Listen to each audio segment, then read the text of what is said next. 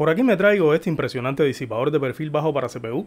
Digo impresionante porque en relación con su precio tiene una construcción sólida con alto nivel estético, pero la solidez y la estética no son sus únicas cualidades. Mi nombre es Vlad y sin más dilación, vamos a los detalles.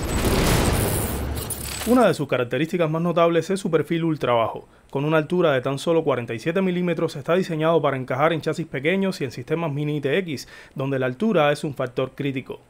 A pesar de su tamaño compacto, no escatima en rendimiento. Ofrece una capacidad de disipación de 130 vatios, utiliza diseño de aletas apiladas con cuatro heat pipes de cobre de 6 milímetros, la plancha o base también es de cobre y tiene un recubrimiento de níquel de ahí su apariencia plateada. La construcción robusta y los materiales de alta calidad son evidentes en cada aspecto. Los tubos de cobre no solo ofrecen una excelente conducción térmica, sino que también añaden una apariencia elegante. La base está pulida para garantizar un contacto óptimo con el procesador, lo que contribuye a una transferencia de calor más efectiva.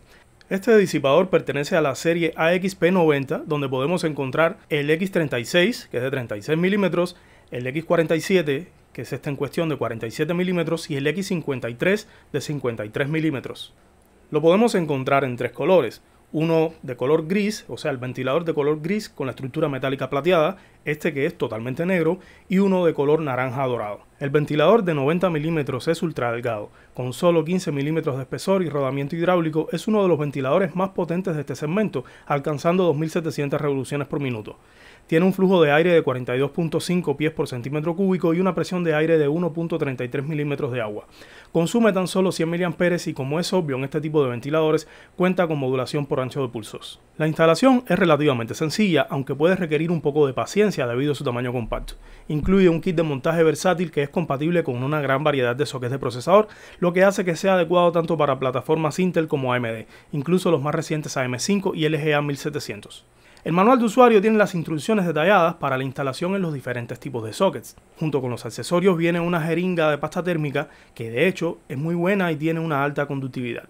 El hecho de ser un procesador de perfil bajo no lo limita a usarlo solamente en sistemas compactos, puede sustituir perfectamente a los disipadores genéricos que vienen de serie con algunos procesadores. Obviamente no ofrecerá mejor rendimiento que un disipador más equipado, pero sí garantizará una disipación adecuada. Además, el precio es ridículo en comparación con otros disipadores similares que no tienen ni por asomo la calidad de este. Pues como de costumbre les agradezco por haber llegado hasta acá y nos vemos en un próximo vídeo.